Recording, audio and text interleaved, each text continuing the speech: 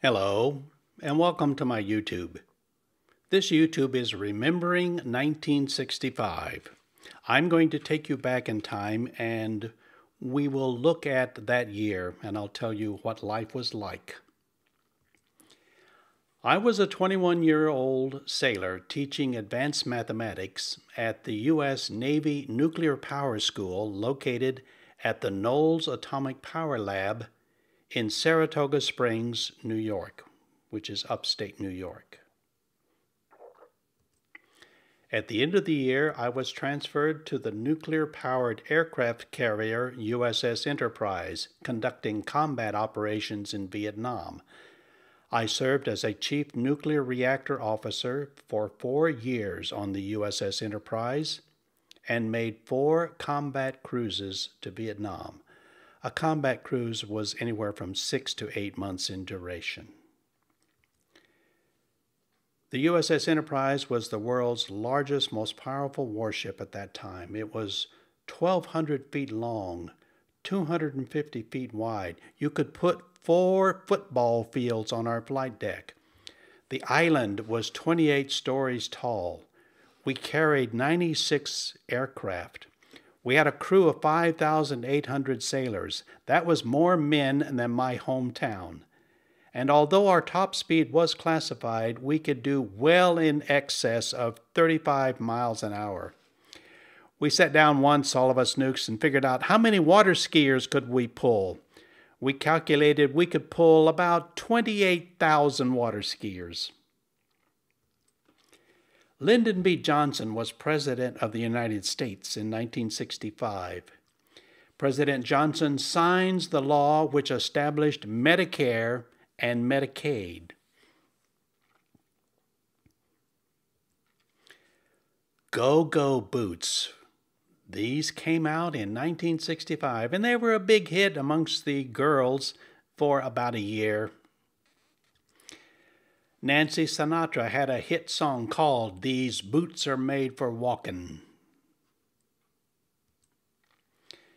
Mass in the Catholic Church worldwide is finally said in the local languages rather than Latin for the very first time, and this happened in 1965. Bloody Sunday. Some 200 Alabama state troopers attack 525 civil rights demonstrators in Selma, Alabama, as they attempt to march to the state capitol. This was the beginning of the civil rights movement in America, a bloody beginning.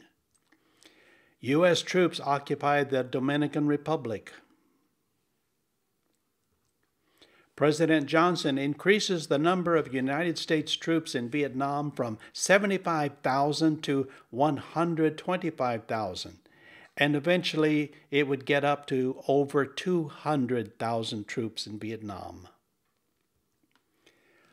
Pope Paul VI visits the United States. This was historic because this was the very first time any pope had ever visited the United States. The Beatles performed at Shea Stadium in New York City on August 15th. This was the very first rock concert ever held in a stadium and it was only the huge stadiums that could hold all the people that wanted to attend. Who was born in 1965? Robert Downey Jr., the, the actor. Charlie Sheen, the actor. Brooke Shields, the actress. Chris Rock, the comedian, and Ben Stiller, the comedian actor.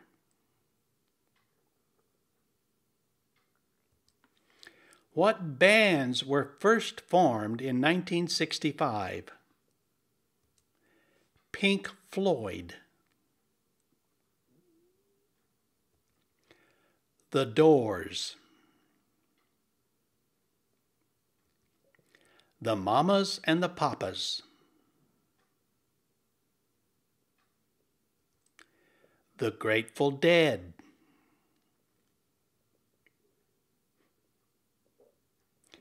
The Jackson Five. And this is Michael right in the middle.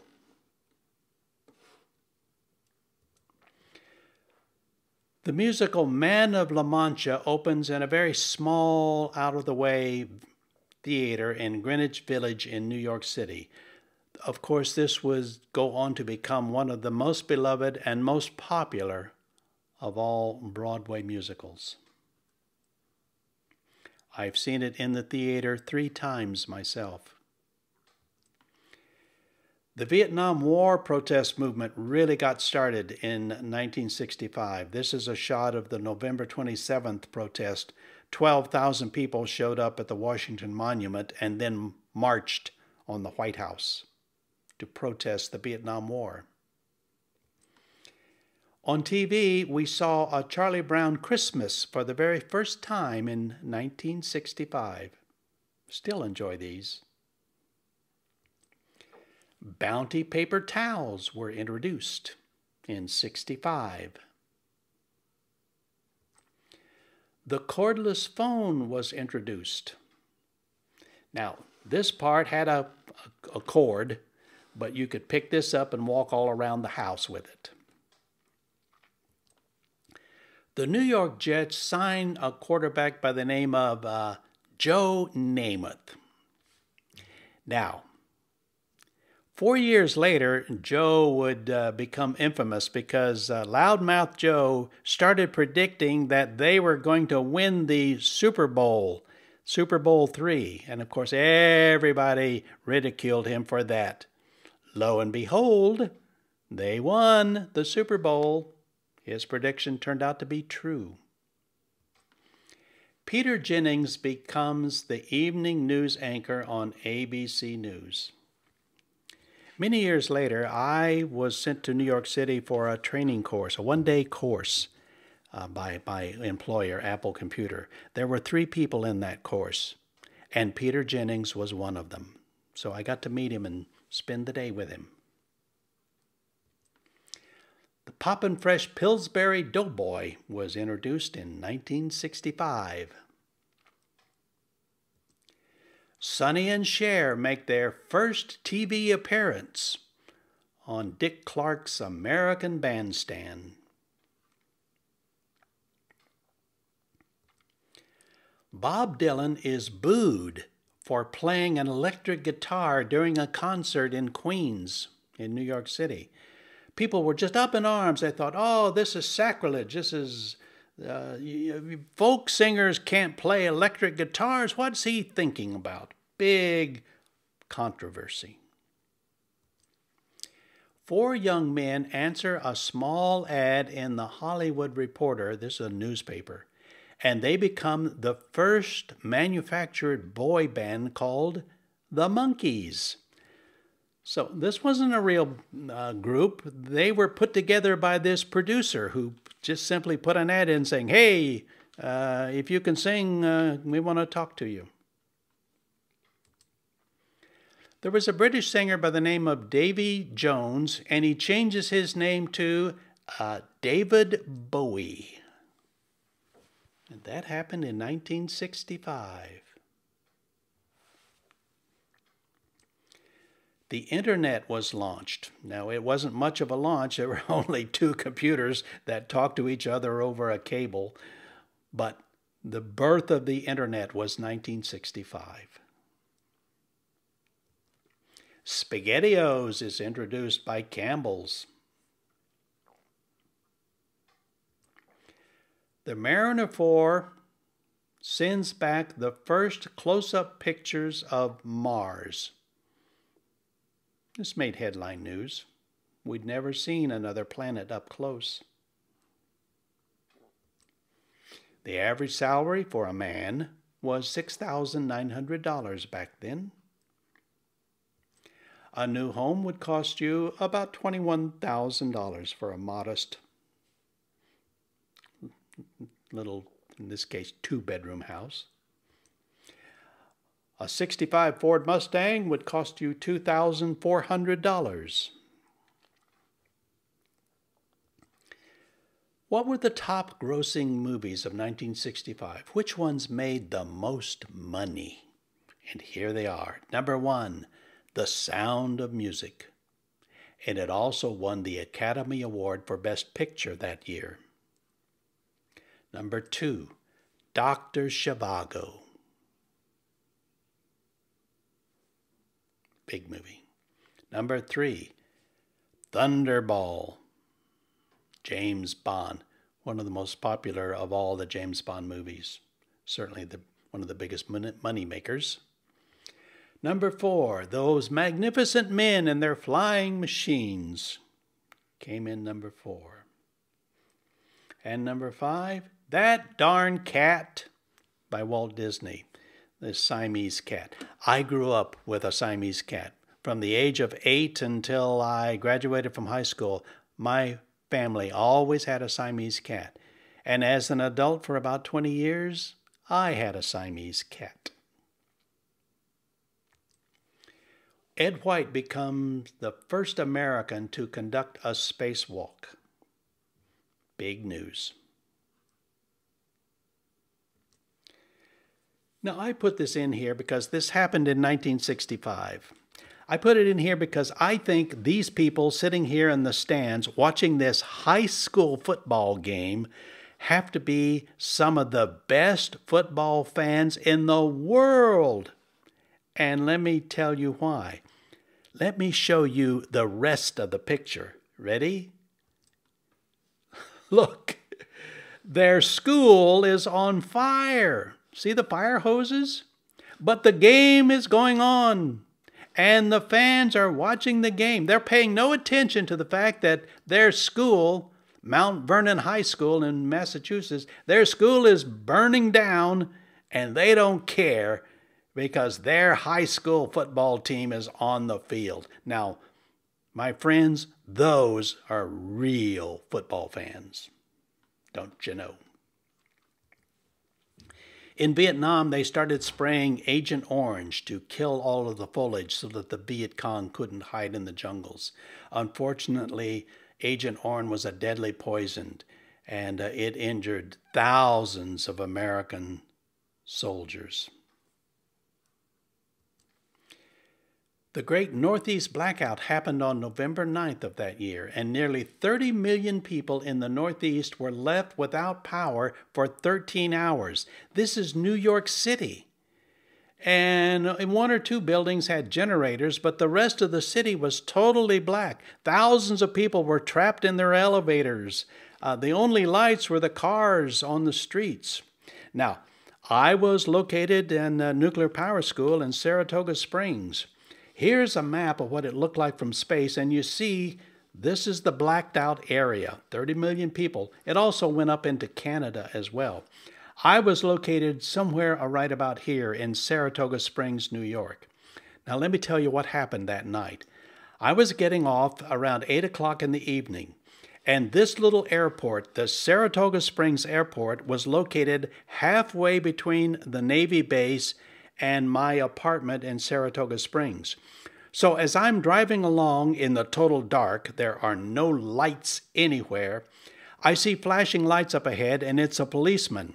And what he asks us to do is to drive off the road, to drive onto the grass of this little airport, and we parked our cars along the runway with our lights shining out onto the runway because there was a little plane in the air that couldn't land because there were no landing lights. So the policeman had, there were about a dozen of us. We lined up here, we lit the runway with our car lights. The little plane came and landed safely and taxied away. Then the policeman came and said, Okay, everybody, thank you. You can go home now. So that was a vivid memory of the great blackout of 65, helping a little plane land. The St. Louis Arch was finished in St. Louis, Missouri. Uh, this happened, I think, around in March. And uh, it was so cold that day that the arch had actually contracted and the final piece here wouldn't fit. so they ended up getting fire hoses and they sprayed water on the arch to get it to expand and, and open up enough for, so they could drop in the final piece. It took them hours to get that final piece in. Uh, I point this out because St. Louis was my home for 27 years. Um, this was my home in the woods in the western suburbs of St. Louis, in the city of Wildwood. The TV telephone was invented in 1965. I don't think I ever saw one, but they invented it. So, what were we watching on TV? What were the top five TV shows of 1965? Number one, Bonanza, the Western, popular for years. Number two, Gomer Pyle, United States Marine Corps, comedy. Number three, The Lucy Show. Now, these were uh, skits, not the I Love Lucy, that was a different show. Number four, The Red Skelton Hour, comedy variety. And number five, Batman.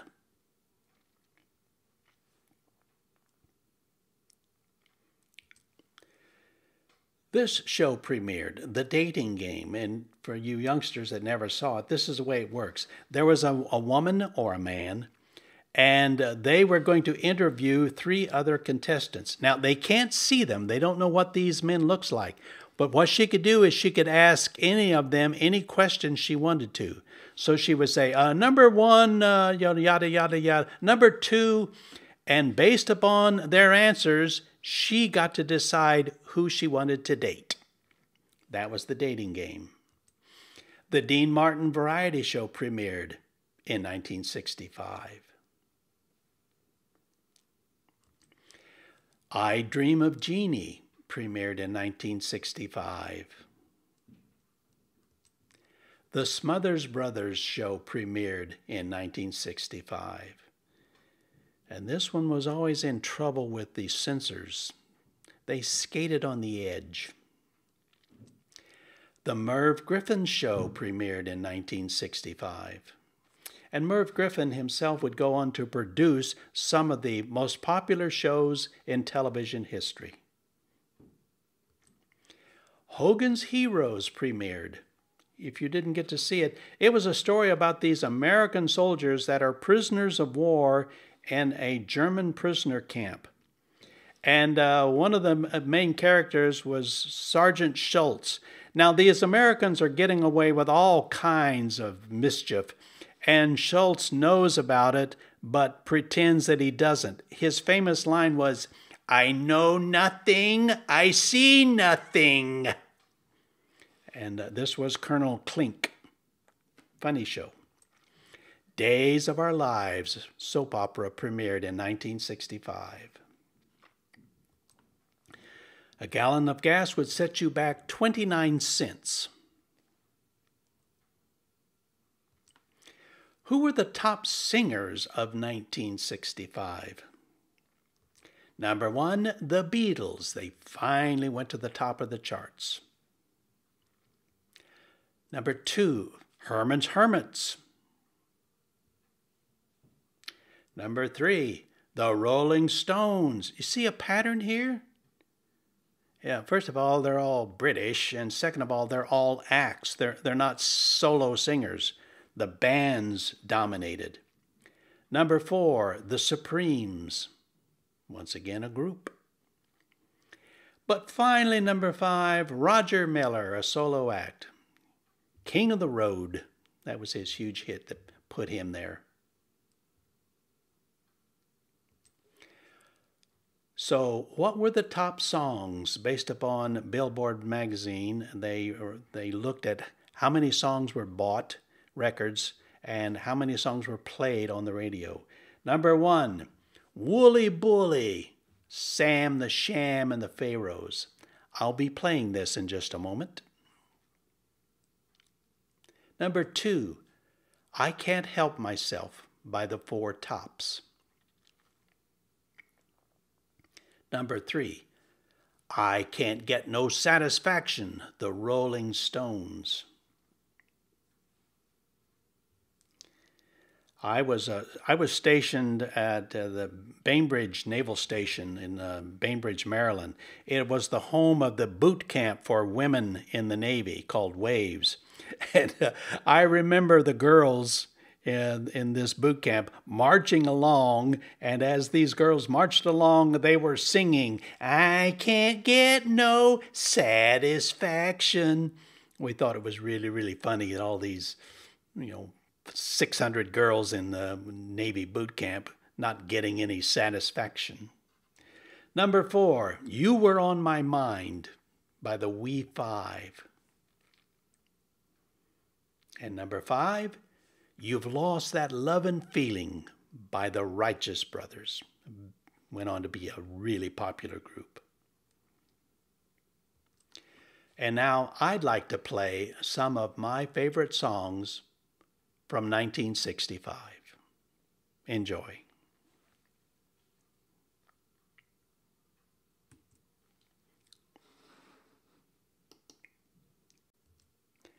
And now I'd like to play some of my favorite songs from 1965.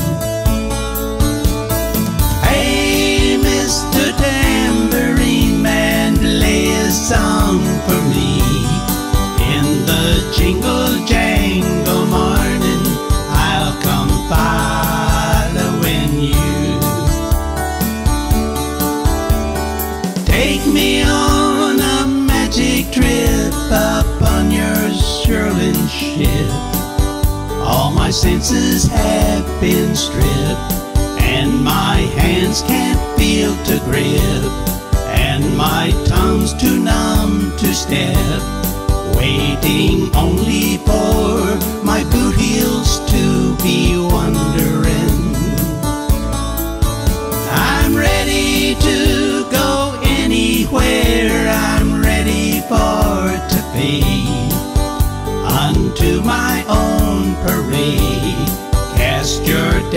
spells my way.